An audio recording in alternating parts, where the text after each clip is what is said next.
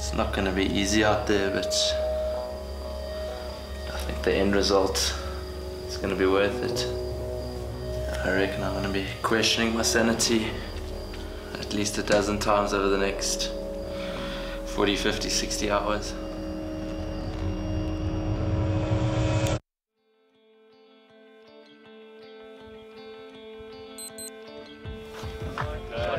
The Drakensberg Grand Traverse is a 210 kilometer traverse crossing the, the Drakensberg Mountains from north to south.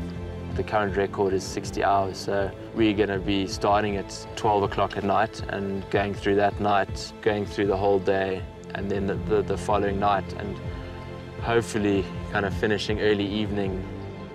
Some of the, the key rules of the traverse is that it's got to be entirely self-supported. So we've got to carry everything we need. You can have no outside assistance.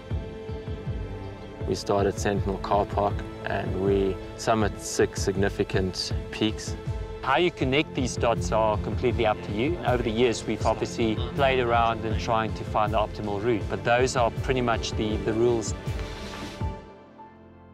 I think the Drakensberg Mountains are incredibly beautiful and, and, really spectacular. You're running on average at 2,800 meters above sea level. Yeah, you can be warm, cold, everything, windy, perfect weather all in one day. Other than that, it's very rugged. It's the first time I moved at that pace. For me, it didn't seem like such a big thing until I actually try to run in these mountains. The terrain is just relentless. There's no pause. You're constantly going over on your ankles, and it's completely different running to anything else I've done. You're going up and down the whole time. There's nothing flat on that mountain.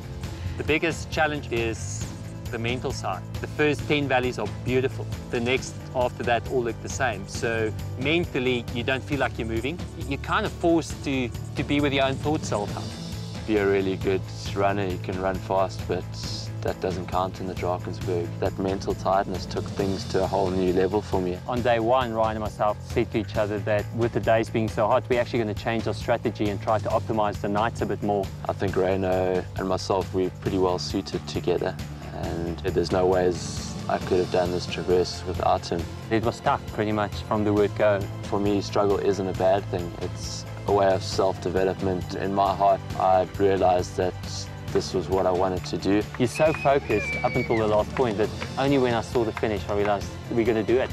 Yeah, super stoked with how things turned out.